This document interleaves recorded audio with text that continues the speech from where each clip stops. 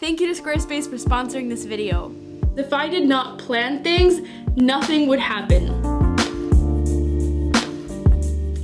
And welcome back to the Bliss Bean. One of the most common questions I get on this channel, obviously, is how do you stop procrastinating? I don't know, but I do think that planning helps me to beat procrastination because it sort of gamifies things. I wake up each morning knowing what my objectives are and also knowing that I have limited time to complete them. So first off, what are the tools that I use for planning? The to-do app that I've been using for almost three years is TeuxDeux, but spelled in French. My preferred calendar app is iCal. I do not like the format of Google Calendar at all, but I actually still use it because it makes it easier than to sync with other Gmail accounts and invite people to events.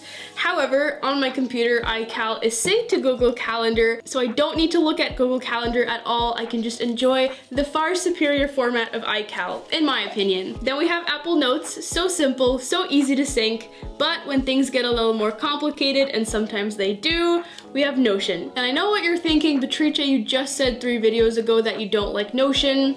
I'm a hypocrite. Now in that video, Rowena and I agreed, and you can go watch it again if you don't believe me, that for us, Notion seems to work pretty well for work stuff where things can get super complicated, but not so much for personal planning. So let's get started with my weekly planning routine and open up Apple Notes. Apple Notes is where I have my various planning routines, my trigger list for my brain dump, do some day list, rough plan for the year, etc. So step one is to recap how the previous week went. I like to do this in my notebook notebook because it's tangible and analog. I feel like it helps me to think better. So some of the things I wrote for this week were what went well. I woke up at 5 a.m. every morning. I did all of my habits. Going outside every day really helped. What could have gone better? Honestly, this week, not much. It was a really good week, but I did write that because I was waking up at 5 a.m., it was hard to get enough sleep, so I was pretty tired during the day some days. After I list out the what went well and what could have gone better, I also write out how I spent my time, because time tracking is something something that I like to do,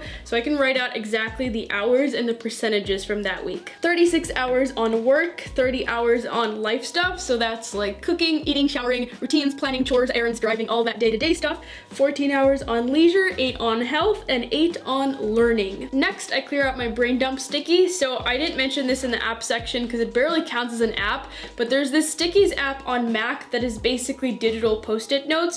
So I have one that is for things that I want to remember to share on social media, another one that's just a brain dump for completely random thoughts, and then some Notion shortcuts. So if I'm keeping on top of things, this brain dump should be almost empty when I look at it on Sunday, but I just take whatever's left on there and I turn each thought into a to-do or add it to my content ideas list. Just put it wherever it belongs so that this is once again empty. At that point, I look at my iCal calendar and see what events are coming up this week. So this is my actual calendar. I just removed some of the details for privacy. These meetings and the Spanish classes are one-time events. The exercise classes and this weekly appointment to meet at a cafe with a friend, these are repeating events. So every week when I open my calendar, I have to make some decisions. So for example, this week, I know my period is gonna start soon, so I probably should not be doing super intense exercise classes. So I think on Tuesday, I'll just go for a walk and I'll make a note of that. On Fridays, I have to decide between these two classes. So kickboxing sounds a little too intense for this week. And then my friend and I, we tentatively meet in the late mornings, but having this block on my calendar is just a reminder for me to text her and confirm at what time she actually wants to meet. So then I take all of these events that are in my calendar and I plug them into my to-do. So if you type a hashtag before whatever it is that you're writing, it turns it into this header format. So what I like to do is drag my tasks around my events to have like little milestones of when I want to get them done. Then is the part where we really start planning, okay? Are you ready? First, I look over my goals for the month. I usually don't have many, if any, but I'll just ask myself, what should I accomplish this week to make sure that I am on track to accomplish them by the end of the month? So then I look at my trigger list, and I believe this originates from the Getting Things Done system. This is a list of all of the areas of your life in which you might possibly have some tasks. So once you have this list, you can go through it one by one every week and think about what tasks and ideas come to mind. So I am going to go through this and do a brain dump in my notebook. Please hold.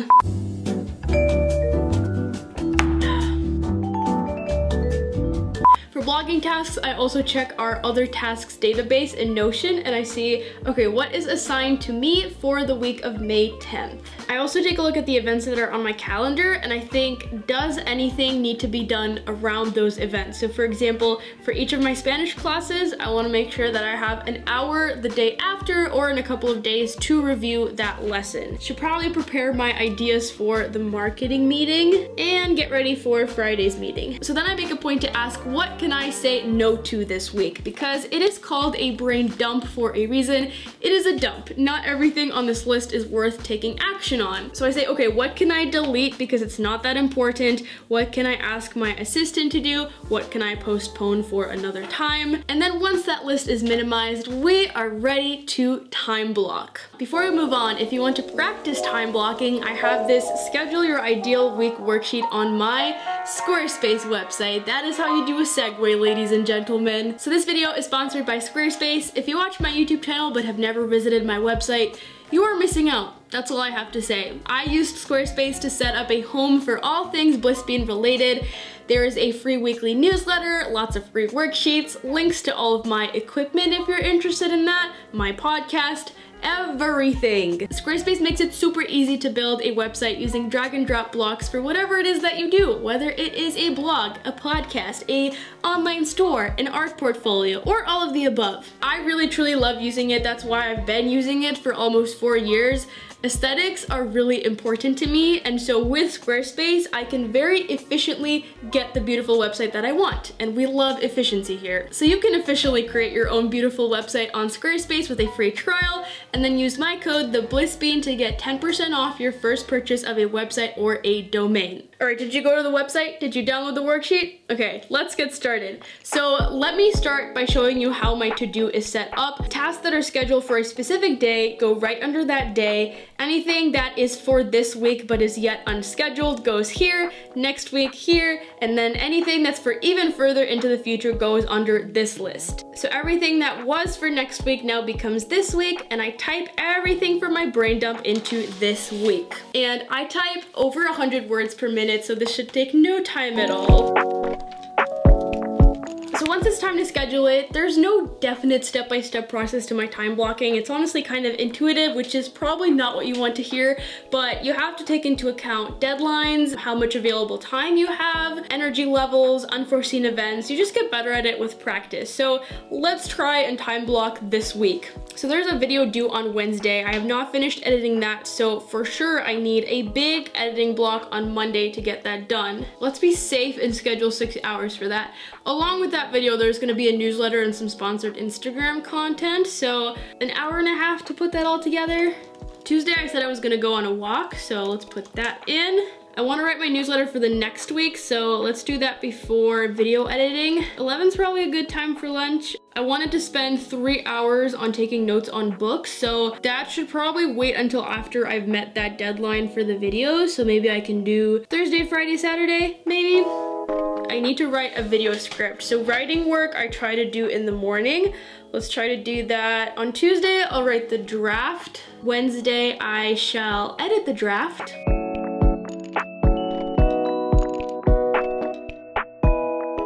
Oh, I just realized I totally forgot to bring my calendar events into to-do, so let me do that very quickly. Think I'll have enough energy to record a podcast and film a video in one day. Record the podcast there, film a video here, then maybe film the b-roll the next day so I don't exhaust myself. So sometimes a time block will contain a couple of tasks. For example, this one, I like to do this when I have a couple of small tasks. I don't wanna make time blocks that are just like 15 to 30 minutes long, and so I'll just lump them together into one work session. Usually I feel pretty confident about the plans that I have for Monday and Tuesday, and then less confident about Wednesday, and then progressively less and less confident. So basically I just need clear objectives to start with, and then I can plan the rest of the week as I go. You can never predict everything that will happen during the week, so you have to have buffer time and be flexible about your schedule. But yeah, this is basically it. I now have a pretty solid plan for the week. I know exactly what I need to get done. I can also edit things very easily if need be by just dragging things around. Before I go, I want to leave you with one last message. Something that I need to get over is this belief that having a busy calendar is good or makes me valuable as a person. So when I opened up my iCal to show you my calendar for the week, I was like, it's kind of empty. What will people think? That I'm lazy? That I'm not booked and busy? That I'm unimportant. But the true measure of a good calendar is not how many meetings you have and not even how much work you accomplish because work is not the only goal. At the end of the week, you should feel content, healthy, balanced, fulfilled, all these good adjectives. And if the way you set up your schedule makes you feel that way, then you've succeeded. And if this video and these techniques helped you in that, then awesome. If you hate time blocking though, don't feel like you have to do it. This just works for me. If you enjoyed this video, you should also check out my how to make time for everything video, where we basically filled out that worksheet with how your ideal week would look like and how you might make that work. So I hope you enjoyed this, I hope you enjoyed that. Please give this video a like and subscribe to my channel, and I will see you next week. Bye!